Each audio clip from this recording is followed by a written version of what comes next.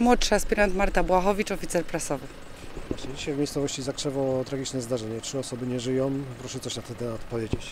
E, Ze wstępnych ustaleń wynika, iż e, kierujący busem marki Volkswagen, e, w którym jechało pięć osób, zjechał na przeciwległy pas ruchu, gdzie doszło do czołowego zdarzenia z samochodem ciężarowym marki DAF.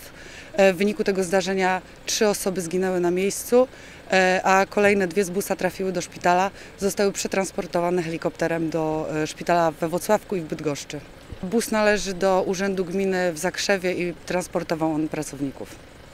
Yy, Na razie za wcześnie mówić o przyczynach, dlaczego tak się stało. Tak, trwają czynności zmierzające do ustalenia przyczyn tego tragicznego wypadku. Yy, Jeżeli chodzi o kwestie rozwiązań komunikacyjnych, droga jest zablokowana.